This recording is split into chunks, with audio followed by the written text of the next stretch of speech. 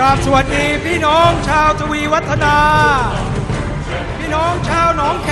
มพี่น้องชาวบางแค ทุกท่านที่อยู่ในสนามหลวงสองส่งกำลังใจไปให้ถึงบ้านหน่อยครับ ส่งเสียงให้ดัง ๆ พวกเราสู้ไม่สู้ สู้ไม่สู้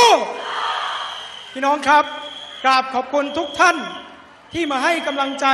ผมและพรรคประชาธิปัตย์ในวันนี้ แต่ก่อนอื่นต้องขออนุญาตบอกกับพ่อแม่พี่น้องทุกท่านครับ ว่านอกจากผมคนนี้แล้ว งานวันนี้ไม่สามารถสำเร็จลุล่วงไปได้ ถ้าขาดทีมงานของพรรคประชาธิปัตย์ที่คอยสนับสนุนผมอยู่ คนแรกครับ ขอเสียงปรบมือให้สอสออนนงค์คล้ายนกสอสอขวัญใจพี่น้องชาวบางแคหญิงเหล็กประจำพรรคประชาธิปัตย์ของเราครับ และขาดไม่ได้เลยครับ ทีมงานพรรคประชาธิปัตย์เขตทวีวัฒนาและบางแคสกอขวัญใจพี่น้องชาวทวีวัฒนา เป็นสกอเขตทวีวัฒนาทุกสมัย และจะเป็นอีกทุกสมัยสกอสุขไหนแสวงสุขครับ ขอเชิญสมาชิกสภาเขตทวีวัฒนา ทีมงานทวีวัฒนาทุกท่านด้วยครับ และขาดไม่ได้ครับ ฝั่งบางแค สกขวัญใจพี่น้องชาวบางแค สกสุพินคล้ายนก แก้วที่ว่าใสยังแพ้ใจสุพินอีกท่านหนึ่งครับ สกขวัญใจพี่น้องชาวบางแค และจะเป็นไปอีกตลอดการ สกเพทายจันเพื่อนยิงจึงต้อง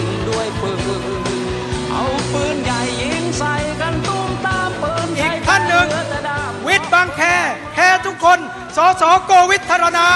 ให้เขาสขเขตบางแครักษสาขาพรรคบางแค พวกเรากราบขอบคุณพี่น้องทุกท่าน และต้อนรับพี่น้อง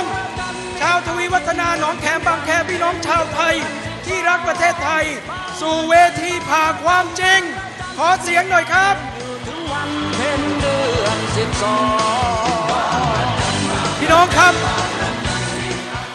วันนี้ผมขอใช้เวลาเพียงเล็กน้อย แต่อยากจะเปิดโอกาสให้พี่น้องทุกท่าน ได้รับฟังความ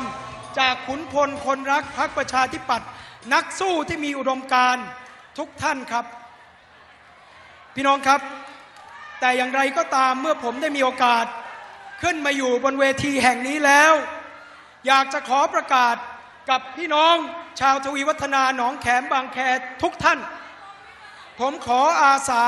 พร้อมทีมงานเป็นตัวแทนพ่อแม่พี่น้องทุกท่านครับ ลุกขึ้นต่อสู้กับระบอบทักษิณกับระบอบที่กำลังครอบงำใช้ความชั่วร้ายมาครอบงำประเทศไทยของเรา พี่น้องจะสู้กับผมไหมครับ สู้ไม่สู้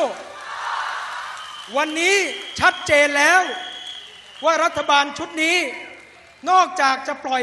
ให้ประเทศของเราสภาวะเศรษฐกิจของเราย่ำแย่มาตลอดสองปีที่ผ่านมา ไม่เคยมีผลงานให้เห็นอย่างเด่นชัด ปล่อยให้น้ำท่วม แต่วันนี้ชัดเจนว่าเขามีสิ่งเดียวอยู่ในใจ เขาคิดอย่างเดียวครับ เขาทำเพื่อคนคนเดียว คือทำเพื่อทักษิณชินวัตรเมื่อวานนี้ชัดเจนแล้วครับ ที่บอกว่าทักษิณคิดเพื่อไทยทำทำเพื่อคนเดียวทำเพื่อทักษิณที่บอกว่าคิดใหม่ทำใหม่เพื่อใครครับ เพื่อคนเดียวเพื่อทักษิณเพราะฉะนั้นวันนี้ถึงเวลาแล้วครับ ที่พวกเราต้องร่วมมือร่วมใจกันลุกขึ้นสู้ ต่อต้านระบอบที่กำลังนำความชั่วร้ายมาปกคลุมประเทศไทยเรา แล้วที่สำคัญที่สุดครับ เป้าหมายต่อไปชัดเจน คือกฎหมายพระราชบัญญัติ นิรโทษกรรมที่กำลังจะผ่านเพื่อล้างผิดให้กับคนโกงบ้านโกงเมือง พี่น้องยอมไหมครับ ยอมไม่ยอม แต่อย่าวันไหวต้องรู้ว่าเราสู้กุกอยู่กับใคร เราสู้อยู่กับอะไร ระบอบทักษิณไม่ปล่อยให้เราสู้ลำพังตามสบายแน่นอนครับ วันนี้วันนี้ เขาจะใช้อำนาจรัฐมาข่มขู่พวกเรา เรายอมไม่ยอม วันนี้จะเอาอำนาจเงินมาซื้อพวกเรา ยอมไม่ยอม วันนี้จะใช้นโยบายประชานิยม มาปิดบังความชั่วร้ายที่เขากำลังทำอยู่ เรายอมได้ไหม ถ้าไม่ได้พวกเราลุกขึ้นสู้ไหม พี่น้องครับ ผมเป็นสสที่เด็กที่สุดในสภา ผมเป็นสสมาเพียงแค่สองปี อายุแค่ 27 ปี แต่วันนี้ขอประกาศต่อหน้าพี่น้องทุกท่าน ว่าชีวิตที่ผมยังเหลืออยู่ทุกวันนี้ ไม่กลัวตายยอมตายได้ แต่ไม่ยอมให้เขาออกกฎหมายล้างผิดคนโกง แน่นอน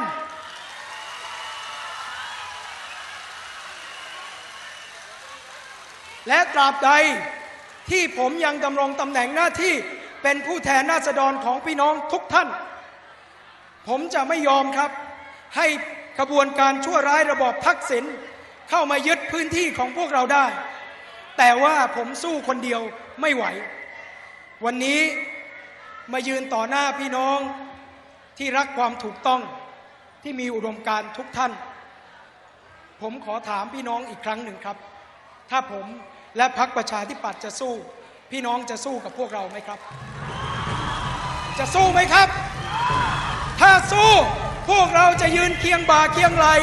ต่อสู้กับระบบระบอบทักษิณที่กำลังครอบงำประเทศไทย ขอให้กำลังใจพี่น้อง ชาวทวีวัฒนาหนองแขมบางแคพี่น้องชาวไทยทุกคนที่รักประเทศไทยครับ ให้กำลังใจทุกคนขอบคุณครับ